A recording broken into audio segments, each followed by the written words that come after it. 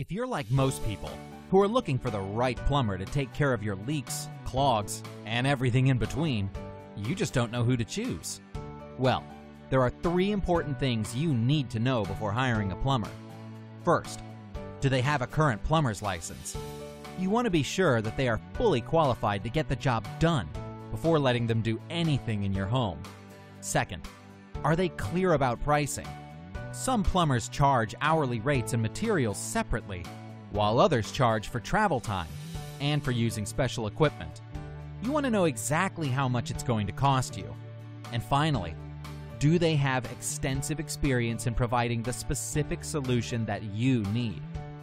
Once you've spoken with a few plumbers and take these three things into consideration, you'll know who is the right plumber for you. So if you're looking for an experienced, professional, and friendly plumber in your area, then give us a call or visit our website today.